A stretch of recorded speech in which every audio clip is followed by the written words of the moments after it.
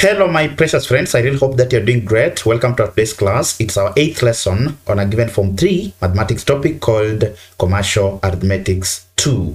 So we are looking at our fourth aspect on this particular topic, which is called the hire purchase price, usually abbreviated as the HPP.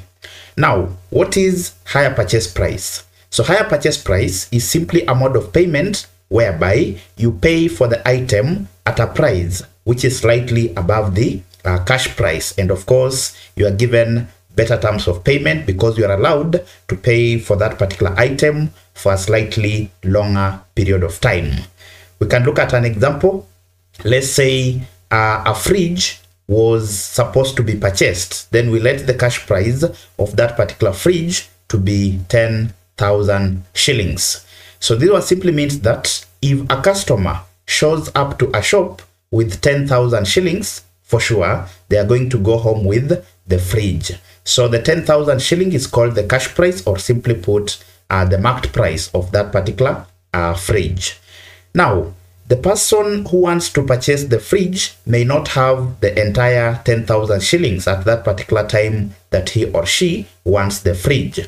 So let's say uh, they will agree with the owner of the shop that I'm going to pay a slightly uh, higher amount than the cash price, but I want you to give me a better terms of uh, payment. So let's say on higher purchase price, the fridge will be sold at 10,300 shillings. But this particular customer will be allowed to pay for this particular amount for a slightly longer period of time, let's say after a period of a three month.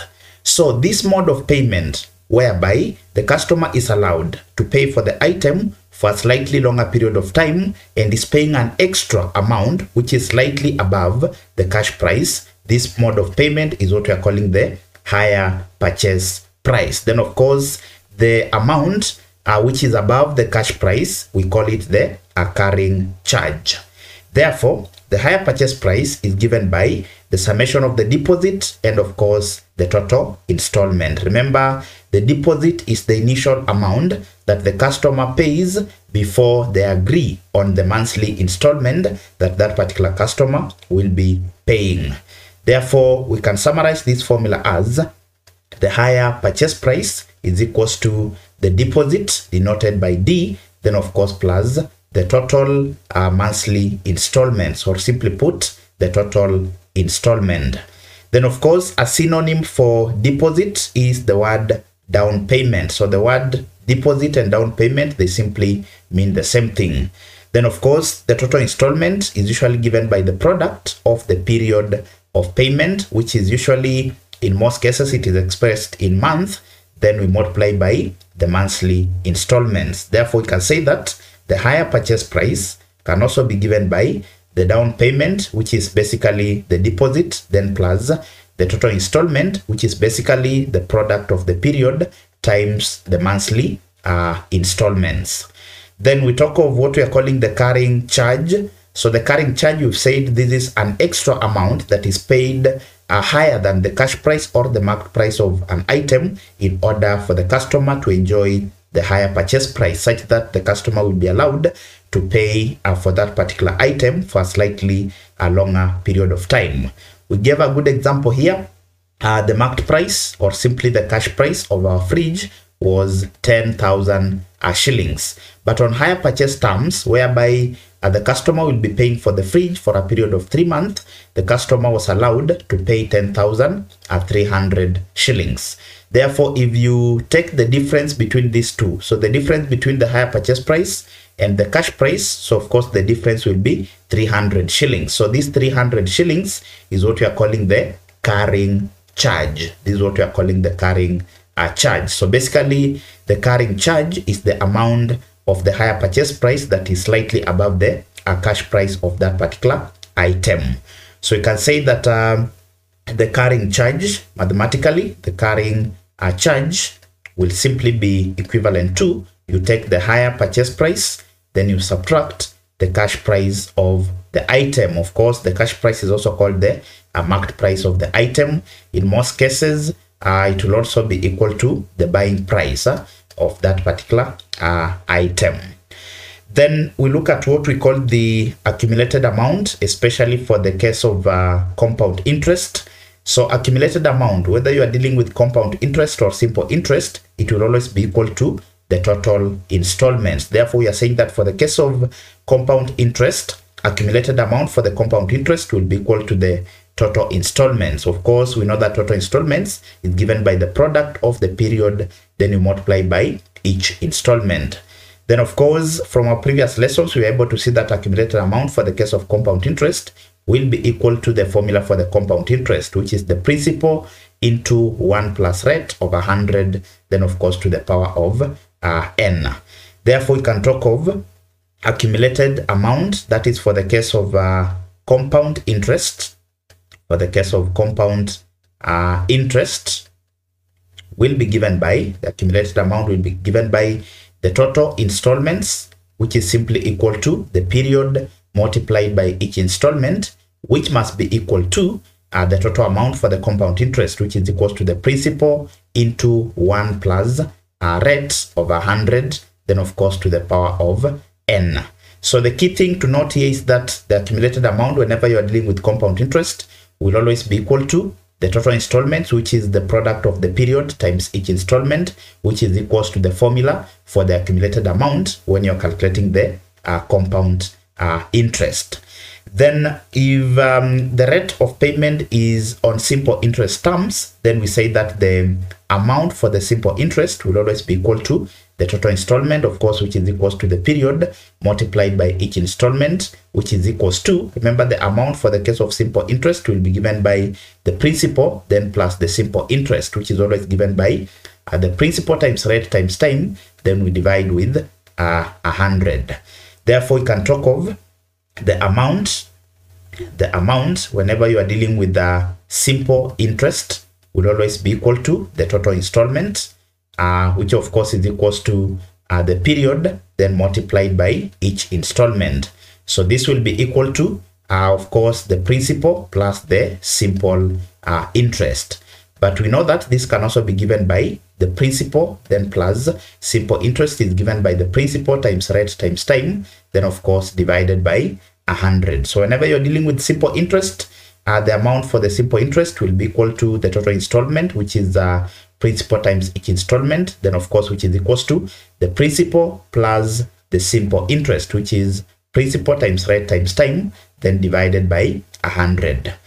Then whenever you're applying these particular two formulas, that is the formula for the accumulated amount for the compound interest and also uh, the total amount for the simple interest, then in this particular case, the principal will always be equal to the difference between the cash price, which is also called the marked price of the item, then you less or you subtract the deposit or the down payment of uh, the item.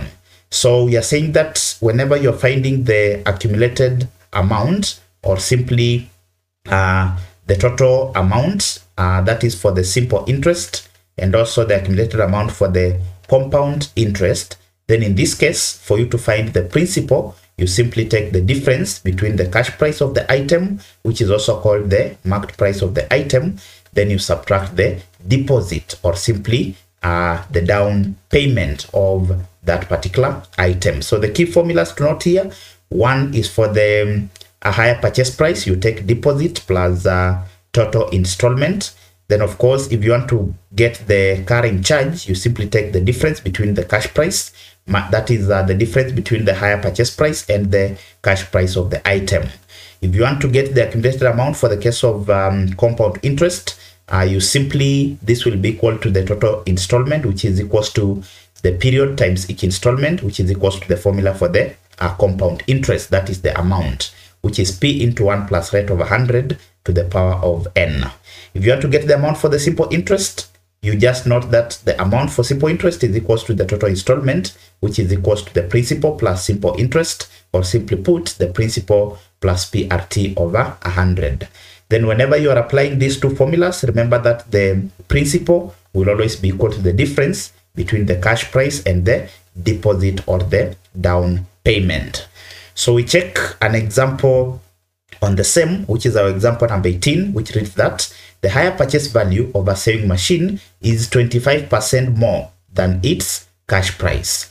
Then the hire purchase term requires a customer to pay 32.5% of uh, the hire purchase price as the deposit, followed by nine monthly installment of 1,500 uh, shillings each. So calculate the cash price of the sewing machine.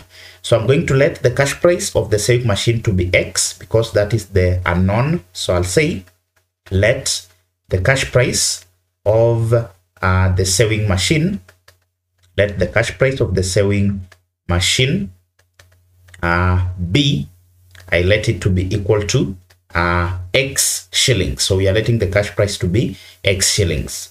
Now on the question, there are some details we are given. We are told that um, the hire purchase price value of the sewing machine is 25% more than the cash price. Remember the cash price is the same as the marked price, which is always equal to the buying price, which is always equal to 100%. Now we are being told that the hire purchase price is 25% more than the cash price. So this one means that hire purchase price will be equal to the cash price. Then of course we add the 25% more. Now, if our cash price is 100%, it means that hire purchase price will be equal to 100%. Then, of course, we add the 25%. Therefore, the hire purchase price is 125%. That is the summation of 100 and, of course, the uh, 25%. So it means that if we want to get the um, hire purchase price of this particular uh, sewing machine, so the hire purchase price will be equal to the hire purchase price is 125% of the cash price. So this will be 125, uh, then of course over 100, then multiplied by or of the cash price of the sewing machine. But we know that the cash price, we've denoted it to be X. Therefore, the hire purchase price will be equal to 125 over 100X. So this is the hire purchase price of our sewing machine. Now, uh, from the question, we are given some further details. So we are given the details for getting the deposit. We are told that the hire purchase terms uh, require a customer to pay 32.5% of the hire purchase price as the deposit. So it means that our deposit, the deposit will be equal to 32.5%. A percentage is always expressed as 100 of the hire purchase price. So this will be equal to uh, 32.5. Then of course over 100 of simply means we multiply that is in uh, mathematics. So the hire purchase price. So remember our hire purchase price, we got it as 125 over 100 x. So we multiply by 125, then of course over 100 x. So this will be the deposit. So this will be equivalent to, if you take 32.5, you multiply it by 125, you're going to get uh, 40, uh, 62, uh, 46.2.5. Then of course there's an X, then we are dividing by 100 times 100, this will give us 10,000. Uh, so this will represent what we call the deposit uh, for this particular uh, sewing machine. Now, having gotten our deposit and the hire purchase price, we can actually simplify this particular equation. So if you take 4062.5 divided by 10,000, of course, the 10,000 is going to shift our decimal a point. So four times. So this is one, two, three, four. So we'll have one, two, three, four. So it means that our deposit will be given by 0 0.4062 5x. So this is the deposit of the sewing machine. Now, on the question, we are further given that um, aha, the hire purchase terms requires a customer to pay 32.5 of the hire purchase price as the deposit, followed by nine month. So this is our period. So the period of payment was nine months. So this is our uh, period of payment. Then um, monthly installments of 1,500 uh, shillings each. So this is what we call the uh, monthly installments denoted by uh, I. So this will be equal to 1,500 uh, shillings.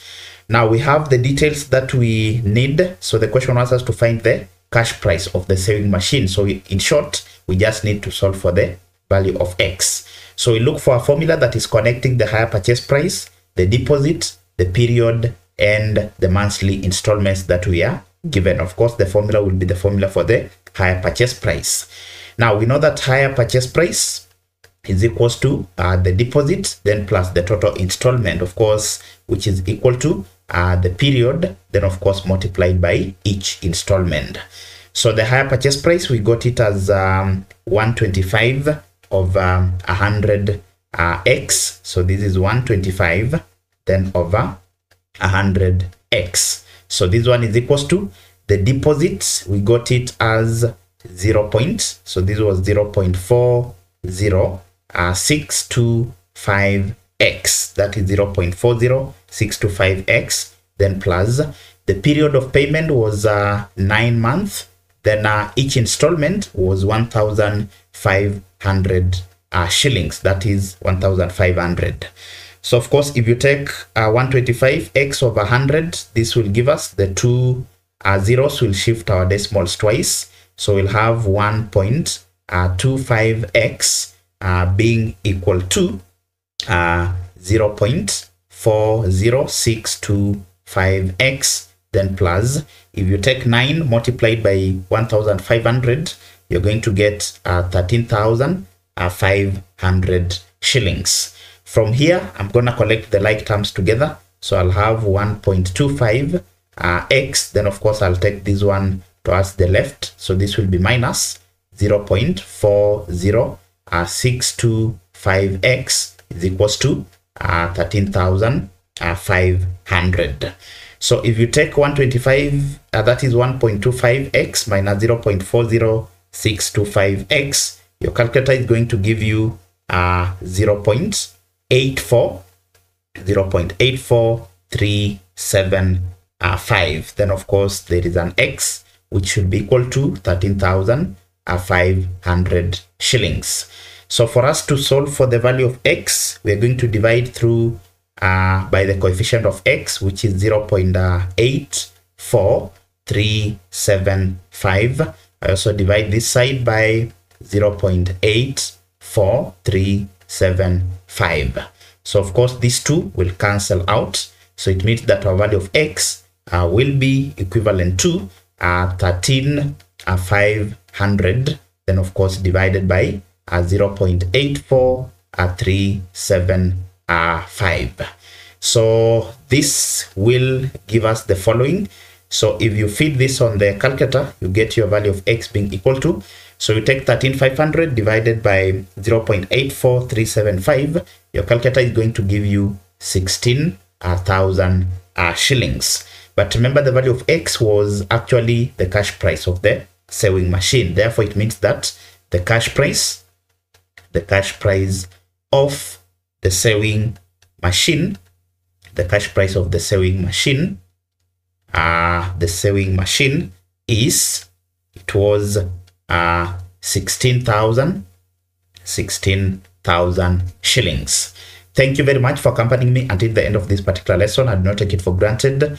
In case you're new to the channel, kindly hit the subscribe button and also turn on the notification bell so that whenever I upload a new video, you'll get notified. Until next time, this is Kind Tuition Academy. Thank you very much.